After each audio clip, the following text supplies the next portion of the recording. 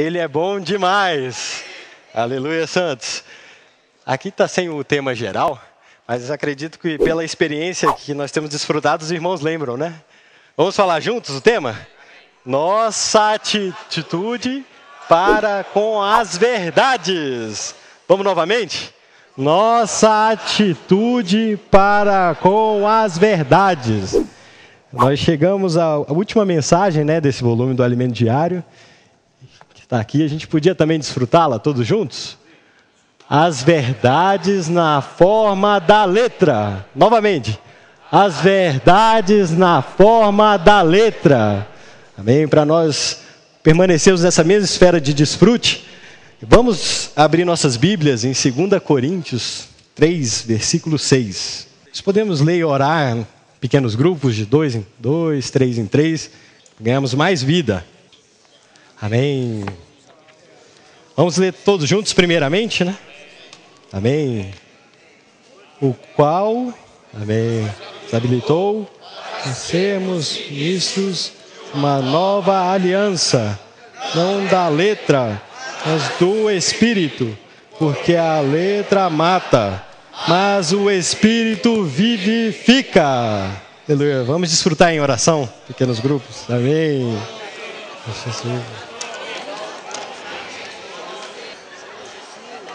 Aleluia. Aleluia.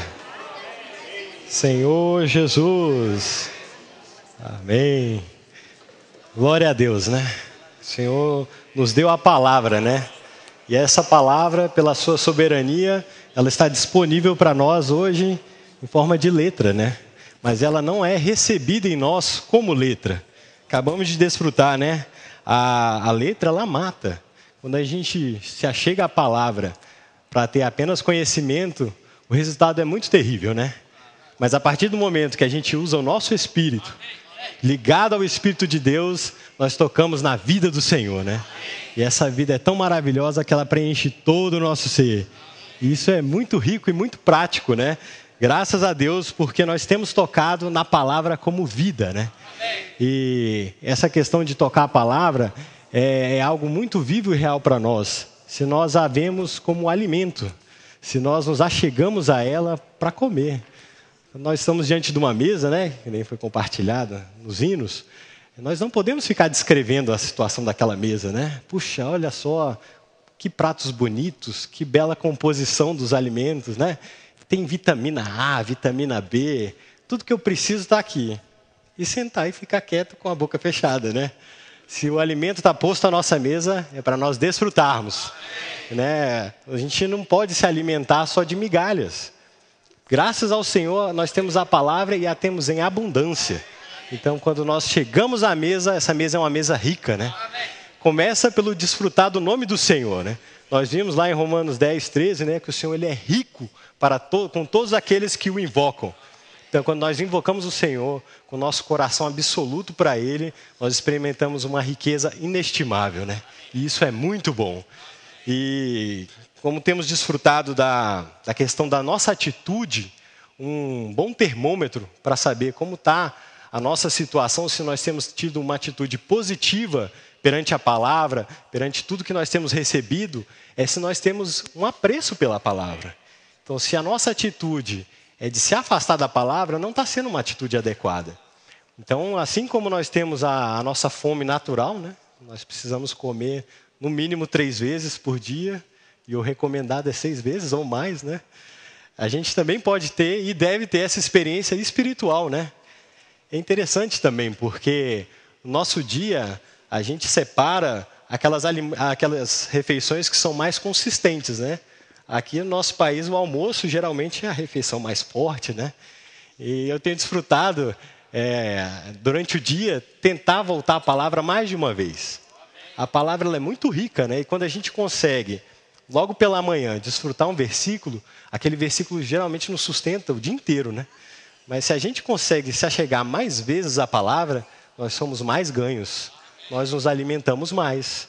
Então, às vezes, a gente levanta ali no café da manhã e aí come uma coisa leve, uma fruta, a gente pode pegar um salmo, a gente pode pegar um cântico, desfrutar aquilo ali. Passar do dia, se a gente tiver tempo, né? E se a gente tiver isso no coração, o Senhor nos dá esse tempo, nós podemos pegar uma porção do Velho Testamento, às vezes uma porção mais forte, né, que demanda mais tempo na palavra. A gente não pode passar só uma vez e tocar na vida. Às vezes a gente precisa ler mais vezes durante é, aquela leitura para ter o um entendimento no Espírito, né? Então isso é algo muito rico, né? Se nós conseguirmos desfrutar mais de uma vez, quem sabe chegando até a sete vezes por dia, como estará o nosso espírito, né? Será um espírito forte, né? Certa vez foi compartilhado é, sobre a questão do, do, nosso espírito, né? O tamanho do nosso espírito. É, se o nosso espírito ele for um, um copinho de café, o Senhor ele vai encher esse copinho de café. Mas já se o nosso espírito for do tamanho de um copo, um copo como esse, o Senhor ele vai encher esse copo até transbordar. Puxa, mas se ele for do tamanho de um balde, seria algo bom, né? Olha, mas será que o Senhor enche um balde? É. Amém? O Senhor enche um balde. e se o nosso espírito for do tamanho dos oceanos, todos os oceanos da terra, o Senhor enche até transbordar. Então a, a questão está com relação à nossa busca, o nosso espírito. Quanto mais nós comemos da palavra, mais o nosso espírito ele cresce mas esse recipiente, esse vaso, está aberto para o Senhor fluir. E quando ele flui, ele nos enche até transbordar, né? Aleluia que o Espírito, como vida, ele não fica contido, né? Apenas conosco, né? O mar morto, ele é morto porque ele só recebe águas, ele não flui as águas. Então o Senhor tem nos dado a vida, né, na forma do Espírito, para nos encher até transbordar. E isso é algo natural, né? Às vezes a gente se cobra muito de, puxa, Senhor, eu preciso falar mais do Senhor, eu preciso falar para que estão à minha volta, no meu trabalho. Ter esse sentimento é algo positivo, desde que não vire um fardo para nós. Quando nós tivermos essa cobrança né, na nossa alma, a gente precisa levar isso para o Espírito. Falar, puxa, Senhor, então transforma isso em realidade. E o Senhor vai falar para nós, então você precisa comer, você precisa desfrutar. Se a gente para só na questão da, daquele encargo que se torna um fardo pesado para nós, nós acabamos sucumbindo, né? O Senhor fala, ó, meu fardo é leve e o meu jugo é suave. Então, se você tocar e desfrutar, você vai ver que deixa que eu faço por ti. Eu vou providenciar a circunstância, eu vou propiciar o momento e eu vou te dar a palavra para falar, né? E a palavra que não volta vazia. Essa é a palavra do Senhor, né? Aleluia. Gostaria de convidar os santos para nós desfrutarmos de Mateus 8, 16. Temos a força e a capacidade dessa palavra. Mateus 8, versículo 16. Podemos, santos? Amém. Chegada a tarde, trouxeram-lhe muitos endemoniados, e ele meramente com a palavra expeliu os espíritos e curou todos os que estavam doentes. Vamos novamente desfrutar esse versículo, Santos? Amém. Chegada a tarde, trouxeram-lhe muitos endemoniados. Aleluia. Nada é impedimento para a palavra do Senhor. Pode ser endemoniado, pode ser uma situação de doença, pela palavra. Essa palavra nos cura e essa palavra nos salva. Amém. Aleluia. Por isso que nós temos que receber essa palavra todos os dias. Oh, Senhor Jesus. Vamos lá para Efésios 5, 18 e 19. Aqui vamos ver uma maneira prática de sermos enchidos pelo Espírito. 18 e 19. Efésios 5, 18 e 19. E não vos embriagueis com vinho no qual há dissolução, mas enchei-vos do Espírito, falando entre vós com salmos, entoando e louvando de coração ao Senhor, com hinos e cânticos espirituais. Aleluia! Nós podemos falar entre nós com salmos, entoar e louvar o Senhor de coração, né? Nós tivemos essa oportunidade, né? Os hinos foram muito desfrutáveis, né? E é tão bom, né, quando a gente sente que a gente está no Espírito, né? Que o Espírito nos dá vida e paz. É... agora a gente precisa estar tá vigilante, porque a nossa alma é terrível, né? Ela quer sempre assumir o posto. depois que houve a queda do homem, né? O homem se afastou do Senhor, se tornou independente da vida de Deus. É, a tendência natural nossa é querer viver por nós mesmos, pelo que a gente acha, pelo que a gente consegue, e até com relação às, às coisas do Senhor, a palavra, é, tá com os santos. Se a gente não busca estar tá no Espírito, a nossa alma ela toma a frente e a gente começa a fazer pela empolgação da alma, né? Então não adianta nada a gente estar tá louvando o Senhor, mas o nosso coração está longe, né? O Senhor deixa isso muito claro lá em Marcos 7. Marcos 7, versículo 6. Amém? Respondeu-lhes. Bem profetizou Isaías. Oh, Senhor Jesus. Então, você vê que o, os olhos do Senhor são sempre postos no nosso coração. Então não adianta a gente ostentar uma aparência de que a gente está buscando, que está desfrutando, até às vezes chega a se empolgar, mas o Senhor está olhando para o nosso coração, né? Então a importância de nós termos discernimento é algo primordial na nossa vida cristã. Né? E a gente só tem discernimento quando a gente tem a luz do Senhor. Então para a gente ter o discernimento, a gente precisa chegar à presença do Senhor. E Ele vai nos mostrar aquilo que agrada o coração dele e aquilo que não agrada gente podia abrir em Salmo 19, versículos 12 e o 14. Salmos 19, versículo 12, depois o 14.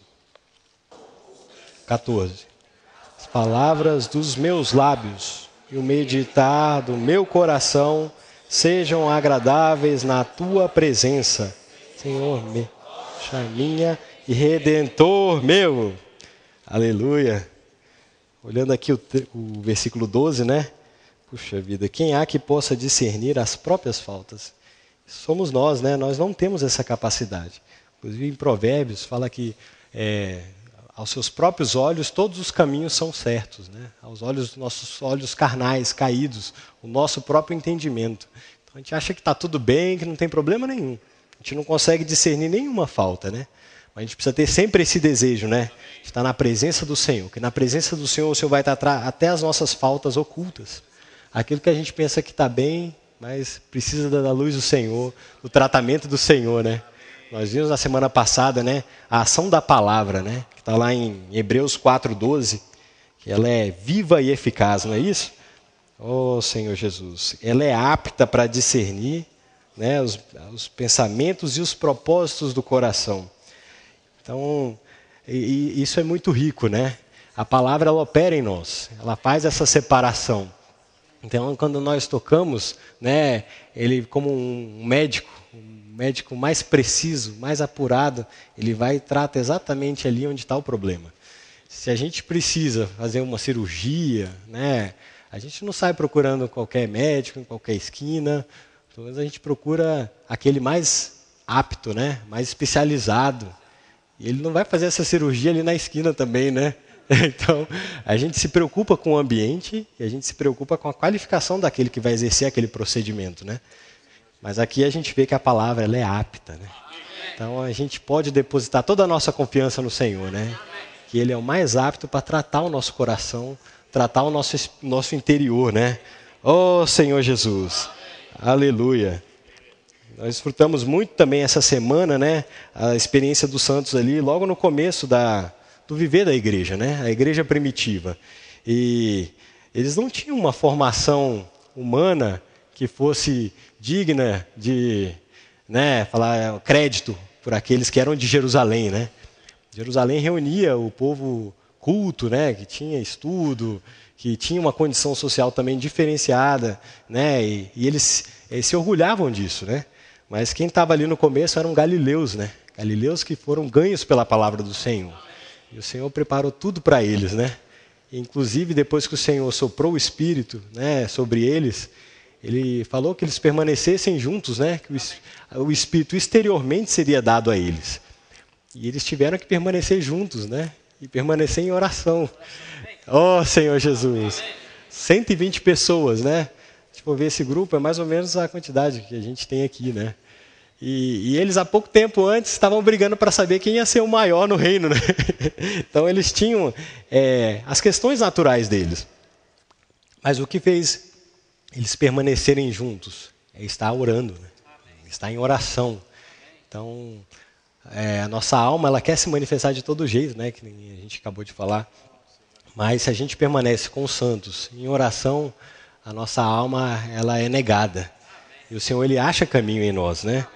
Eles já tinham recebido o Espírito interiormente, né? Mas havia a necessidade dele ser manifesto exteriormente, principalmente por causa dessa situação ali, né? De Jerusalém. Então eles ser, precisavam ser revestidos de poder, né? Para poder falar aquele povo que estava ali. A gente podia abrir ali em Atos 2. Senhor Jesus, de 1 a 4. Amém. Ao cumprir-se o dia de Pentecoste, estavam todos reunidos do Espírito.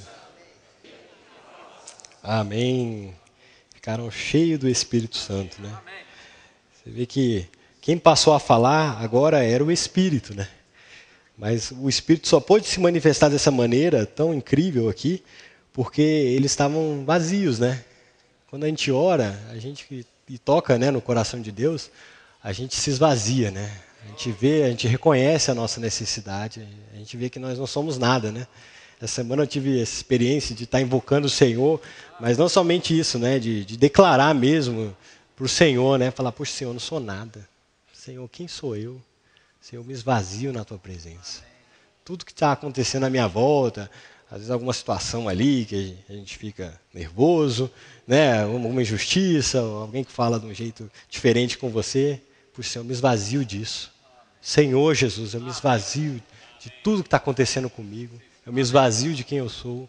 Senhor Jesus, Tu pode todas as coisas, Tu pode tomar o meu espírito para Ti, pode ser um comigo. Oh, Senhor Jesus, dessa maneira o Senhor começa a encher o nosso espírito, né? E é uma experiência tão doce, né? E aí a gente vê o Senhor agindo. A gente vê que a gente não é capaz. Pelo contrário, né? Olha assim, o nosso, nosso velho modo de ser, nosso antigo eu já teria se manifestado há muito tempo, né? Mas o Senhor começa a se revelar, né? E isso é algo para a gente dar glória ao Senhor, né? Porque o mérito é todo dele, né? Oh, Senhor Jesus. E a situação que eles estavam imersos ali, aquele povo, era o mesmo que há 40 dias antes estava gritando para crucificar o Senhor, né? Então, humanamente falando, para você se portar perante esse povo, era algo para eles ficarem temerosos, né? Mas não foram eles que falaram, né? O Senhor que falou, né? O Espírito, quando fala, ele ganha as pessoas, né? E é, vinha pessoas de vários povos, de várias nações, e todos ouviram ao seu próprio idioma, né? E isso causou grande admiração por todos aqueles que estavam ali escutando eles, né? Mas interessante também que apareceu aqueles que falaram assim: "Ah, esses aí estão bêbados", né? Começaram a zombar, né, do falar do espírito. Então, disso a gente também pode tirar um princípio, né? Por mais cheio que a gente esteja do espírito, o inimigo vai querer se levantar contra. Então, a gente não precisa se admirar se surgir uma situação de zombaria, de alguém falar algo que vá nos afrontar. Não está nos afrontando, está afrontando o Senhor, né? E o Senhor é aquele que lida com toda circunstância. Então a, a gente pode ficar sossegado. A gente está tocando no Espírito, Ele vai tomar conta da situação, né? E, e, ele se levanta, né? Interessante que Pedro levantou ali e ele deu um testemunho muito rico, né? Ele citou a profecia, né? Do, do profeta Joel e falou né, que o Espírito seria derramado e que os vossos velhos, os vossos jovens profetizariam, né, e coisas incríveis acontecendo. Mas somente a salvação vem quando invoca o nome do Senhor. Então, é, o mais rico é a gente tocar naquilo que vai nos trazer verdadeira salvação, né? Que é o nome do Senhor. Então a gente pode se firmar nesse nome, né? Esse nome é o que verdadeiramente nos salva, né? Todos os dias. Oh, Senhor Jesus. E a manifestação natural do Espírito é trazer vida a todos, né? Então, naquele dia, haviam ali os 120. O número cresceu para 3 mil, né? Se for ver, Senhor Jesus, né? Que multiplicação, né? E passaram a conviver junto ali com eles e, e não era um viver esporádico. A gente vai ver mais detalhadamente, o irmão César, que era um viver ali constante, todos os dias. Dia a dia eles estavam juntos, né? E isso manifestou uma necessidade. Né? Antes, os apóstolos, somente os doze apóstolos, eles tinham a, a função de levar a palavra, mas também eles tinham a função de alimentar aquele povo. Eles levavam um alimento físico mesmo. E como o número estava muito grande, né, precisou fazer uma separação ali, né? Então eles ficaram com o encargo do presbitério, né, que é a questão da palavra, da oração, da liderança, e houve também os diáconos, que foram irmãos, né, eleitos para ajudar nesse serviço de levar os alimentos, né? A gente podia ver ali em Atos Atos 6 de 2 a 7. É um trecho maior. As irmãs podiam começar, os irmãos é, em seguida, né? De 2 até o 7. Nicolau, prosélito de Antioquia. Siam a fé. Aleluia. É que a ação do Espírito promove, né, a, a multiplicação, né, e, e, o crescimento da fé, né. É muito rico ver que o, Senhor ele separou ali aqueles sete, né, e, e deu um destaque aqui para o testemunho de Estevão, né. Estevão ele era cheio de fé e cheio do Espírito Santo, né. Oh Senhor Jesus!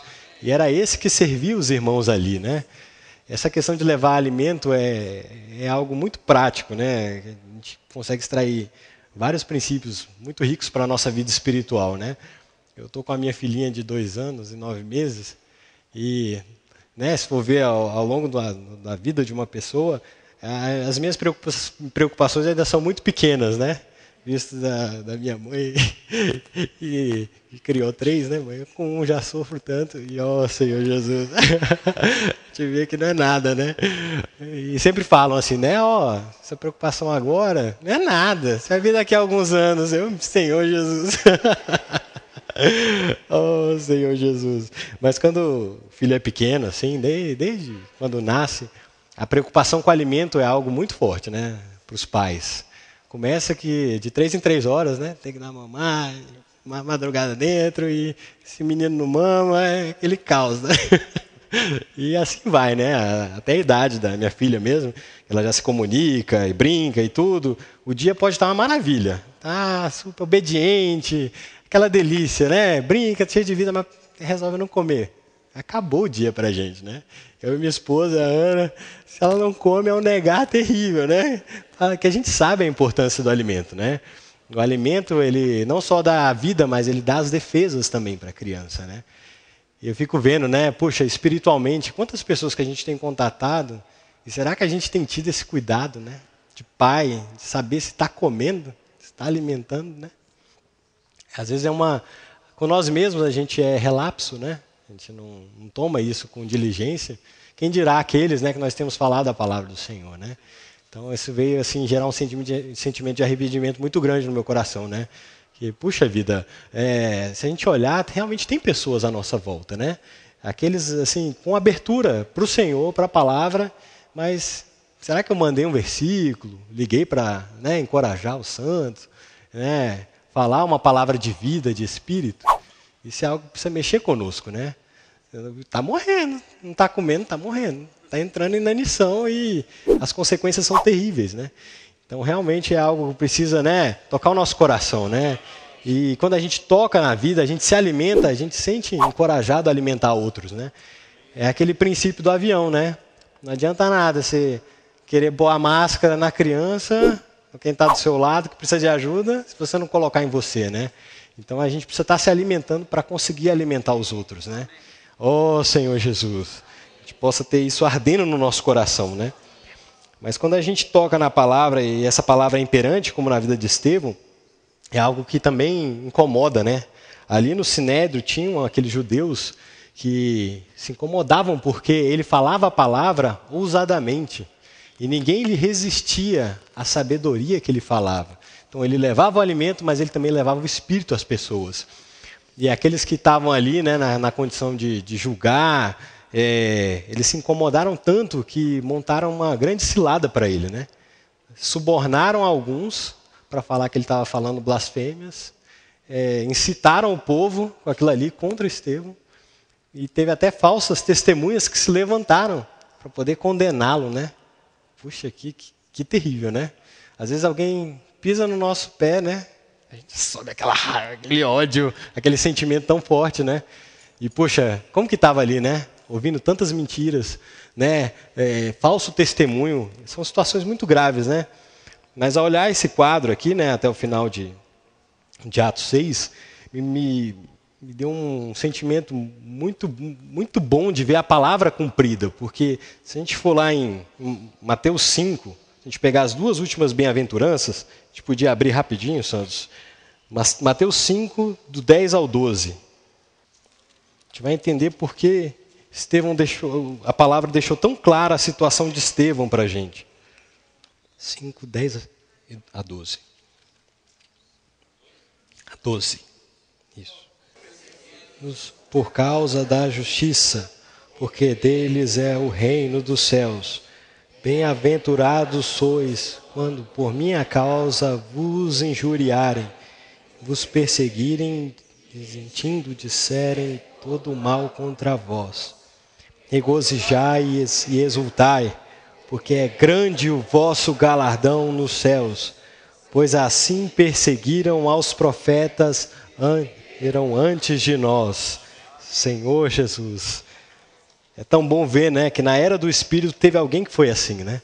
E, se a gente pegar o último versículo de Atos 6, a gente estava desfrutando isso aqui muito. Diz assim, eu vou ler por causa da hora, Santos.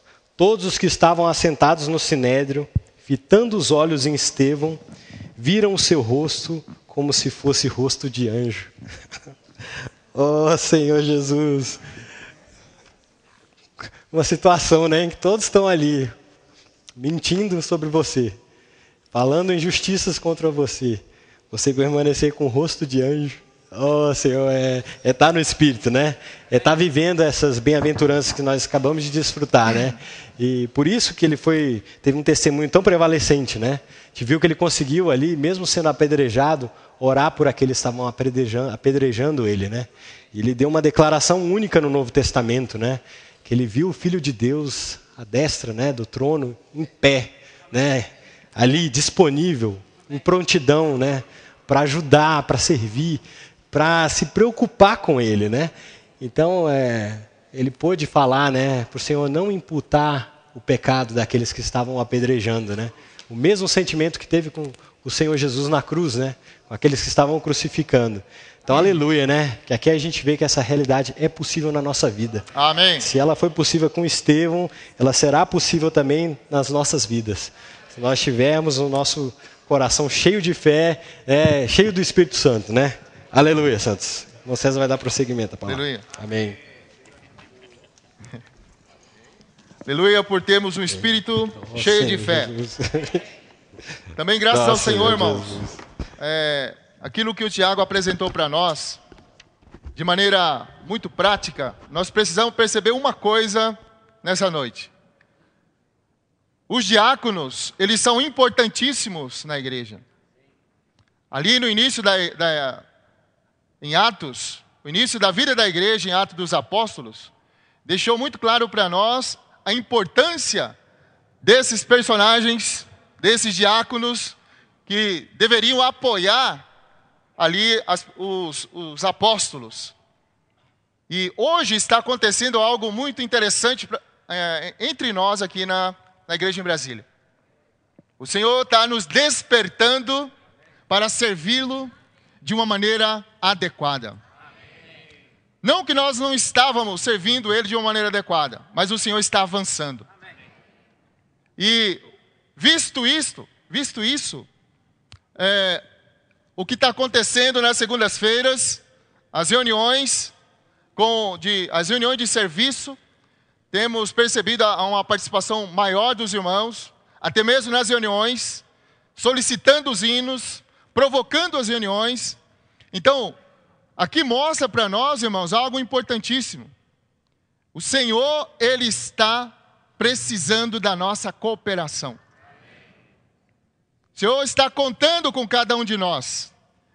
E a maneira como nós devemos servir o Senhor, conforme foi apresentado, é procurarmos estar sempre com o nosso espírito liberado. É interessante o registro de Ato dos Apóstolos, o capítulo 6, ou melhor, o capítulo 7 e também o capítulo 8. O irmão estava compartilhando que, embora está falando de Atos dos Apóstolos, mas Lucas usou esses dois capítulos para falar de dois diáconos, que foi Estevão, né, homem cheio de espírito, cheio de fé, cheio de graça e cheio de poder. Dominava muito bem a palavra. E no capítulo 8 também fala de Filipe. Outro diácono que foi também chamado de apóstolo. Alguém que também valorizou o período que ele esteve ali no início da vida da igreja. Eles foram preparados por meio de um de algo, irmãos, que de um ponto, de um princípio que nós hoje que servimos o Senhor, precisamos também considerar, que é a oração. Aqui em Atos, ou melhor, em João, capítulo 20, é, ainda na preparação dessas pessoas que estavam cheias do Espírito, que nós precisamos perceber, irmãos. Por um lado, o Senhor está falando para nós nos enchermos do Espírito. Por outro lado, nós sabemos que nós estamos entulhados de tantas coisas. Estamos tão cheios né, das nossas próprias coisas, que às vezes nos impede de tocar nessa vida que está no Espírito. Então, aqui em João, capítulo 20, versículo 19 e o 20 e o 21 fala assim: Ao cair da tarde daquele dia, o primeiro dia da semana, trancadas as portas da casa onde estavam os discípulos, com medo dos judeus, veio Jesus, pôs-se ao meio, pôs ao meio e disse-lhes: Paz seja convosco. E dizendo isso, lhes mostrou as mãos e o lado. Alegraram-se, portanto, os discípulos ao verem o Senhor. Disse-lhes, pois, Jesus outra vez: Paz seja convosco. Assim como o Pai me enviou, eu também vos envio. Então, aqui, irmãos, era um, era um grupo de pessoas que estavam atemorizadas, com muito medo, estavam com as portas trancadas. Mas o Senhor aparece a eles e dá um comando. Assim como o Pai me enviou, eu também vos envio. Olha o tipo de pessoa que o Senhor estava comissionando para fazer a sua obra. Um grupo de galileus simples, pessoas medrosas, como muitas vezes nós também somos, mas, graças a Deus pela ação do Espírito, aqui foi soprado o Espírito sobre eles, a vida entrou, e agora essa vida precisava ser exercitada. Esse espírito que entrou precisava ser exercitado. E é por isso, irmãos, que Atos, no capítulo 1, ele mostra ali que aquele grupo de 120, eles ficaram 10 dias orando. Se nós queremos servir o Senhor de uma maneira adequada, nós temos que valorizar a oração. Quando nós oramos, nós abrimos caminho para o Senhor avançar nessa terra. Nós nos unimos ao Senhor. E é importante nós percebermos esse item no nosso serviço, até mesmo porque é através da, dessa oração da igreja é que nós vamos conseguir lutar contra o inimigo do Senhor. É por meio da oração da igreja que nós vamos tornar mais sensíveis à necessidade do Senhor. É por meio da oração que nós vamos estar mais conectados com o Senhor.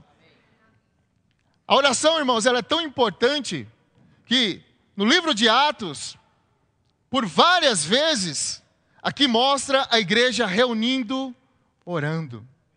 Né?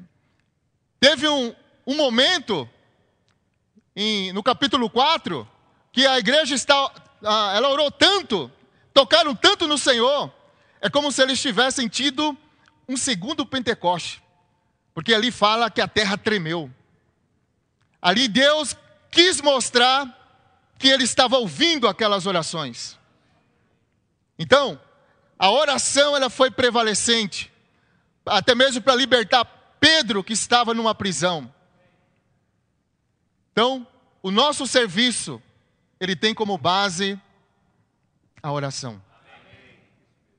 E assim como os irmãos têm orado aqui aos domingos, por determinados serviços, até o serviço de apacentamento que está orando uma hora aos domingos, isso é algo, irmãos, que vai e está já movendo o coração de Deus. E uma outra coisa importante, rapidamente falando de, dessa questão da oração, é também percebemos, irmãos, qual é o nível de intimidade que nós temos tido com o Senhor por meio da oração. Temos que gastar tempo com o Senhor, orando a Ele. Por outro lado, irmãos, o Senhor também, eh, nós vimos essa semana, Deus ele quer fazer algo no nosso meio. E ele vem preparando isso há muito tempo. Passo a passo, o Senhor tem mudado a nossa atitude. Ele tem trabalhado em nós. Nós que éramos tão fechados, estávamos contentes apenas com um pequeno grupo de pessoas que reuniam conosco, nos preocupando apenas com qualidade, mas nós temos percebido que ao longo dos anos, o Senhor ele tem alargado o nosso coração. E está chegando o momento.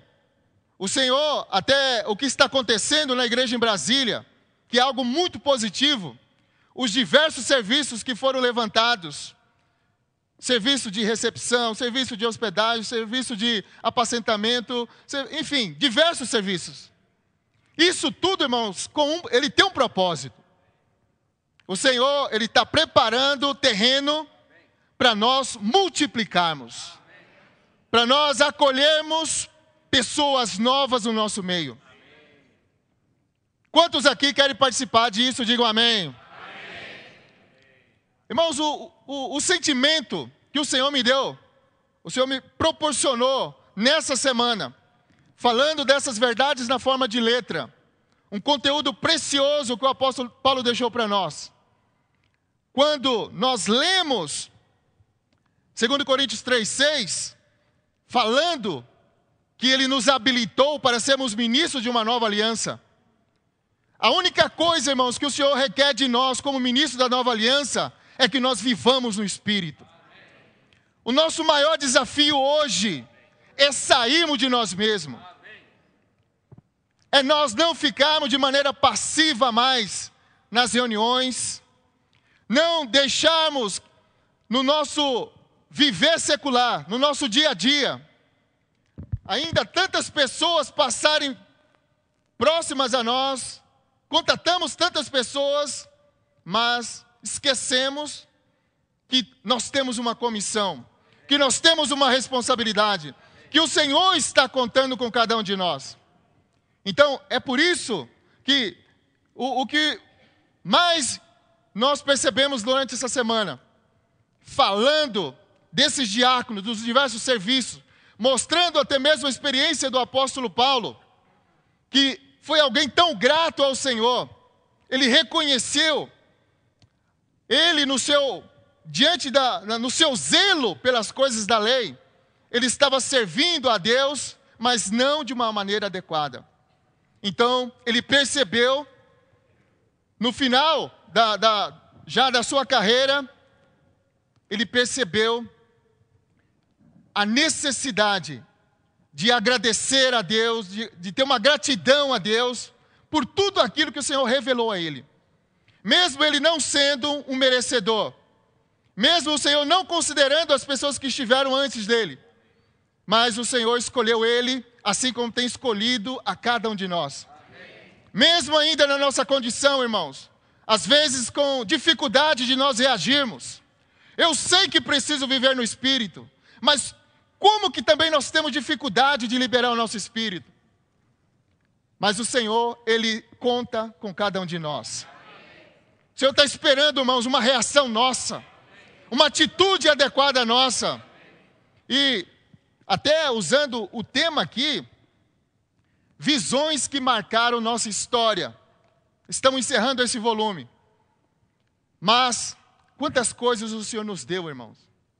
Por exemplo, invocar o nome do Senhor. Que preciosidade! Quanta ajuda nós temos recebido e também outras pessoas têm recebido essa ajuda. Eu visitei recentemente uma cidade, no estado do Mato Grosso, e me alegrei muito numa reunião onde os jovens, as crianças, os adultos, os casais, todos estavam ali, mesmo num lugar distante, uma cidade pequena, mas eles tinham algo, eles receberam uma revelação, que foi o invocar o nome do Senhor. Havia muito frescor, muita alegria nos irmãos, porque estavam invocando. Então, nós precisamos valorizar todas as visões que o Senhor tem nos dado. A visão do tabernáculo, a visão de Apocalipse 12, a visão de Hebreus 2. Tantas coisas, irmãos. Eu sinto a necessidade de nós sermos até mesmo mais agradecidos por, por tantas coisas que o Senhor tem nos dado. Mas o que falta da nossa parte oh, é, é uma reação. O irmão, no aperfeiçoamento que nós tivemos na chácara, tem mostrado para nós, mostrou para nós o melhor, as ferramentas que ao longo dos anos têm sido dadas a nós. Né? Desde 89, até antes, né? Iniciando com Jave, com Expolivro, com SEAP, é, até mais recente agora, em 2008, projeto Vida para Todos. Irmãos, que, que maravilha, que preciosidade o Senhor começou a abrir os nossos olhos, que nós precisamos nos preparar para nós sermos essas pessoas que vão levar vida para as demais pessoas. Bucafé 2009.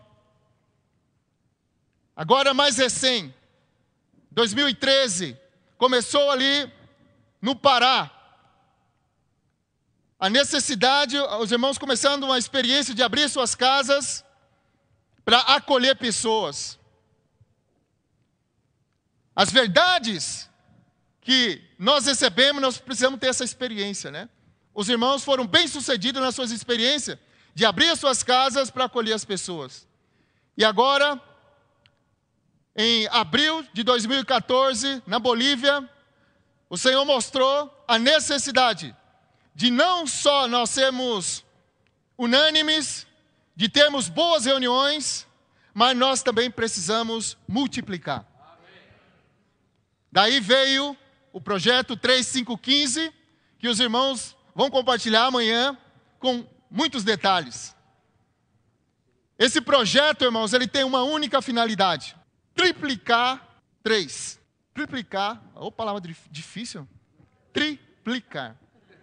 Número 5, com responsabilidade. E 15, é o, até 2015, algo que começou na Bolívia, o, o, senhor, o encorajando os irmãos ali, depois os irmãos em Mossoró, agora São Paulo, várias regiões, irmãos, estão se preparando para entrar em campo. O Senhor quer cumprir Gênesis capítulo 1, versículo 28. Sede fecundos, multiplicai-vos enchei a terra e sujeitai-a. Então, ah, o, o, o calor dessa mensagem, irmãos, dessa última mensagem, é essa preocupação o Senhor quer despertar todos nós. E, por um lado, Paulo fala que o Senhor nos habilitou para sermos ministros. Mas, por outro, em 2 Coríntios, capítulo 5, gostaria que os irmãos pegassem. 2 Coríntios capítulo 5, 18, diz assim: Ora, tudo provém de Deus, que nos reconciliou consigo mesmo por meio de Cristo e nos deu o ministério da reconciliação. A saber que Deus estava em Cristo, reconciliando consigo o mundo não imputando aos homens as suas transgressões, e nos confiou a palavra da reconciliação. De sorte que somos embaixadores em nome de Cristo, como se Deus exortasse por nosso intermédio. Em nome de Cristo, pois rogamos que vos reconcilieis com Deus. Tudo provém de Deus. Uma coisa que é importante, que agora nós temos, não nós não apenas, não só apenas fomos habilitados para sermos ministros da nova aliança. Mas também o Senhor nos deu, então, esse ministério de reconciliar outras pessoas com Deus. Quantos aqui querem exercer esse ministério da reconciliação? Digam amém. A hora é agora, irmãos. O Senhor está nos dando essa oportunidade de nós atrairmos outras pessoas. Jovens precisam atrair jovens mais jovens. Os casais precisam atrair para o Senhor mais casais.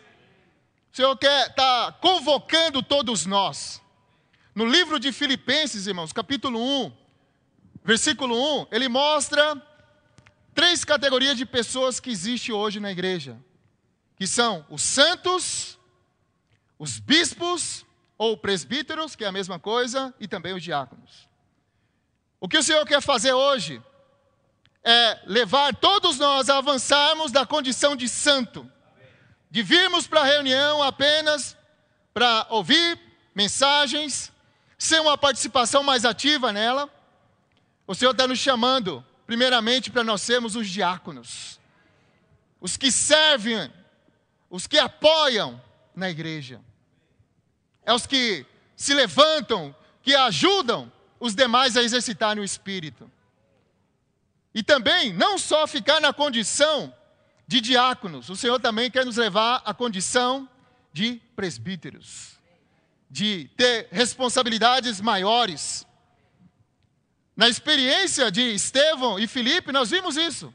Eles foram chamados para servir à mesa, mas um foi morto, martirizado, e outro ele não permaneceu em Jerusalém. Foi para outros, ele foi para outros cantos pregando a palavra.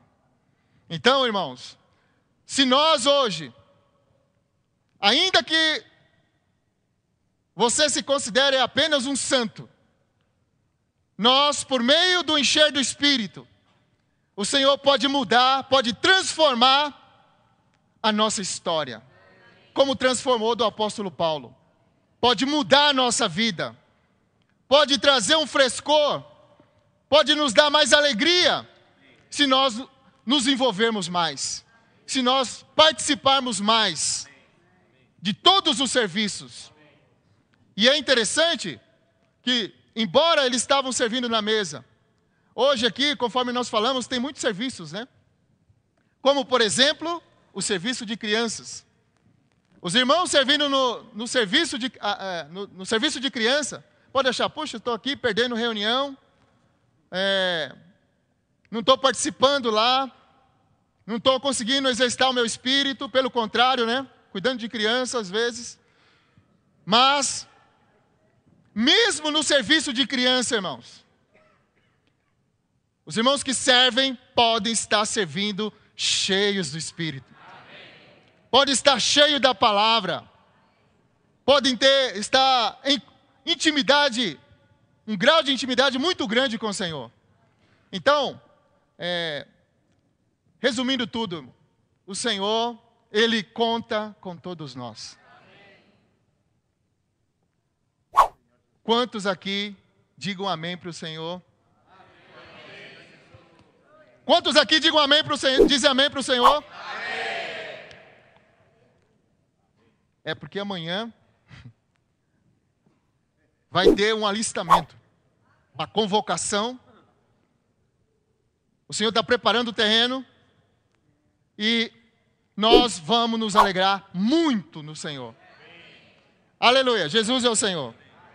Irmão, vamos fazer pequenos grupos.